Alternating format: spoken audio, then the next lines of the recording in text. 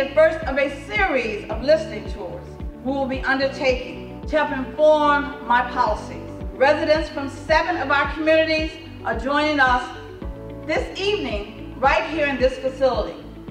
We will be meeting with residents from Kenwood, Washington Park, Woodlawn, North South Shore, Hyde Park, East Fuller Park, and Greater Grand Crossing.